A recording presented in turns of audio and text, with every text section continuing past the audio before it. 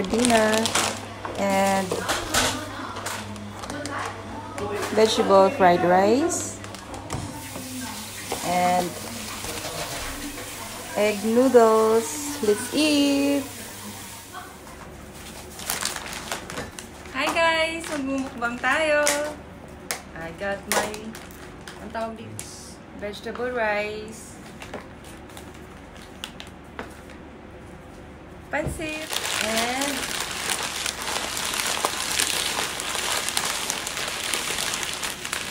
chicken.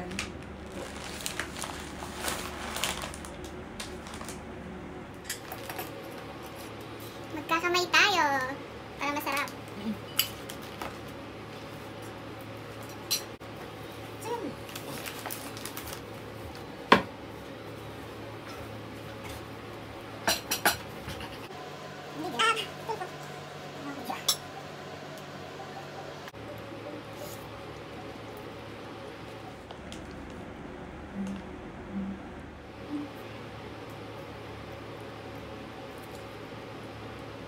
Tiyo pa na, alam na. Hmm? Ano ba to? si ating bukod. Nag-trending po ito. Siya ng August 13 yung Friday Labas po. May trending po ito? sa YouTube ni Idol Rafi. Babaeng pinagtulungan saktan na magkasintahan sa jeep. Ipinag... Pagsukin natin sa magkasintahan para naman makuha kasi tama si Ma'am Roderi noon, Lady Express. Ma'am Shaina May, ano yung version niyo? Galing kami sa Lamay, sa Malaya, to Palmera. Inamin naman po namin nakainom kami, pero hindi po kami lasing. Iaano ko lang din po yung sinabi niya, sumakit po siya sa tungkol, umuulan daw. Hindi po yung umuulan, tapos madami daw siyang dala. Isang supot lang na suman, tsaka yung gulay na nalaglag sa jeep. Eh di, ito po yung pintuan ng jeep. May estudyante po dito, ako, tapos yung asawa ko, tapos madami po pong nandito, tapos dito po banda yung may space. Sumakay po siya ng tungkol, doon nga po siya sabi niya sa video, tulog po sa asawa. Nakaganito lang po ako, sir, nakaganito lang. Hindi naman ako yung para umupo na parang dalaga na walang anak, sir. Siyempre, kahiyan ko din. Madami nang sumakay, siya yung pinakalas. Kasi sabi niya, paupo daw. Hindi ko po siya napansin kasi nga po tulog ako. Tapos nung umusog ako ng kaunti, nagulat din ako sir kasi ba't dito siya uupo?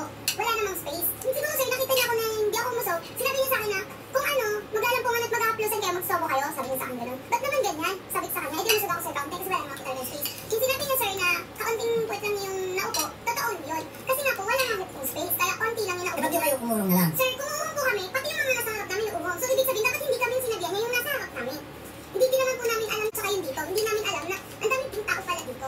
Dun sa Marami pong space sa harap, sir. Ang gusto niya talagang upuan. Jeep. Opo, sir. Yun ako. bang sinasabi ng driver, kung usog-usog lang kayo para makapasok yung mga bagong kasakay, di ba? Courtesy ang tawag tama. So, since nakakatanda siya sa inyo, eh, bakit hindi niya siya pinagbigyan? Tumulong na lang. Tumulong po. Plus, meron naman siya dala, granting na isang supot ang dala niya. Pero mahirap yun eh. May dalang supot tapos sa hawak. Ano yung tawag sa? Ano? Rail. Rail? Ah, rail. Okay. So, Umuho nga po ako, sir. Tapos sabi ko sa asawa ko, di umuho ka kasi may upo. Tapos nung nakaupo na siya, sir, ng maayos, doon na lang, huminga yung asawa ko na, yun na, nagmumura siya, yung sinabi ko, sir, na, ano ka, ano na, pinapausig lang kita, wala kang ano, wala kang pakundangan, ganun, ganun. Tapos kinano ko yung, kinabit ko yung kamay niya, sir, kasi nandito sa hotel. Kasi wag mo naman kami ganyan, eh. Walang kas, nung sinapan niya, doon ako nagkaroon ng tension. Bali, sir, ano po, ah, nakakuha kami ng video, nung sa katapat namin mag- Meron? Meron po, pero sa ayaw ko nila bigay yung identity nila. Pero Sige minsan po yung number, tsaka yung video lang dito. pwede ba makita ang Hindi video? pa. Ah, tayo Tapos meron din po akong mga ebidensya, sir, na sa kasi sir may nag-post po sa sa group po ng sa Los Del Monte na sa video nga niya sir nung nakaraan na kung sino daw sir yung testigo kung pwede daw po lumutang sir. Tapos nag-comment po tong asawa ko na ako po yung ano yung nare-reklamo na ito ni Ma'am Rodeline po na ganun ganyan. May nag-chat po sa kanya ng ano nakaharap namin na siya daw ito daw po talaga sir yung may kasalanan. Siya po yung unang nagmakoy siya po nagmuna nagalit tapos siya po unang nanakit sir. Kasi gusto ko lang maging malinaw sa inyong dalawa, no? Kung sino yung unang nanakit, nanampal ng suntok, yun ang may kasalanan. Yung magmurahan kayo, magsigawan kayo, hanggang sa maghalikan na kayo, as long as wala pa nangyari physical, not counted yun. Pwede kasi kung magdemandahan ng libel, panilang puri, slander, kung ano-ano pa. Pero ibang usapan yun kung sino na una. Wala din ang sa na kaso, physically. Sino yung ba to?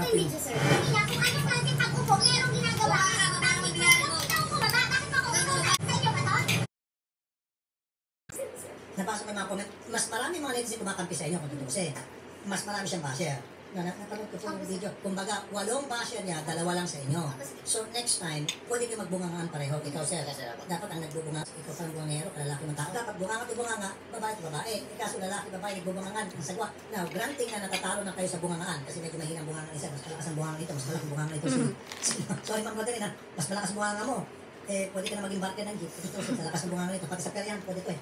Ang bunganga niya. O dami na yung mga tao. Oo, nakita mo. Going to his defense. Siniko mo siya. Twice. Sabi ko naman dun, sir, nung habang sinisiko siya, huwag mo ako sigawan. Kaya nga, Sino provocation. na malapit sa nun. Yung pagdalo mo sa kanya, kahit na siguro sino, nagkakainitan na mo yan eh.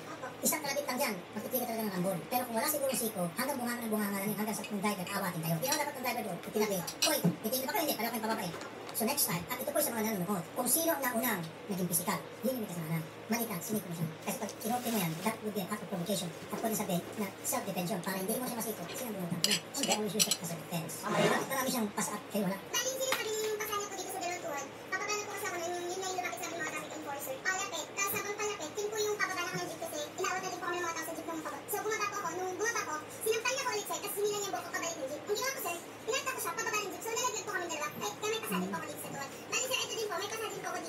Ay, hindi sa ko lang po sir yung sinasabi. Sabi mo nga ka lang. Oo. Oo, kasi po sir, rin po yung una nagbunga, kaya gumaganti lang din po sa. Next time dapat, hindi maganda makipag-away ka Tapos, sa isang babae. No can. Tapos, Dapat tinawag ko si Mrs. Ikaw na nga, ikaw na nga, ikaw na nga. Ang sakit ka na lang. Ako, pag-away ka ng bumangaan dito sa babae. Una, nagkamali ako kasi sinabi ako sila na offense sila. Nagkamali ako doon. Pero, bakit ito? Habang sinusuntok mo ako, sinisipan mo ako, tinatridyakan mo ako, pinagbantaan mo pa ako.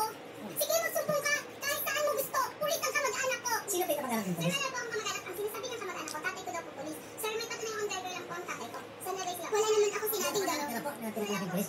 Okay, anong nangyari ay nagkasakitan na kayo. Sir, sa akin lang naman, hindi ako nanghihingi sa inyo ng pera. Lumapit ako dito para sa protection ng pamilya ko. Hindi ko kami naniwala nung una eh. Yung Sa pananakot niya. Kilala mo ba kung sino ako? Pero pagdating sa presinto, doon mismo sa PNP mail, sa harap pa mismo ng police, binantakan niya yung asawa ko.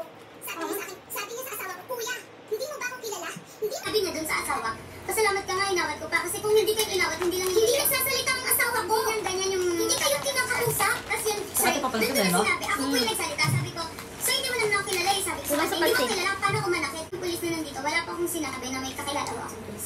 Ma'am Rodeline, meron din kayong kamalian doon na magbitay ka ng ganun salita. You're looking for trouble. Yung masabi mo, mag, doon na lang kayo sa So, ako.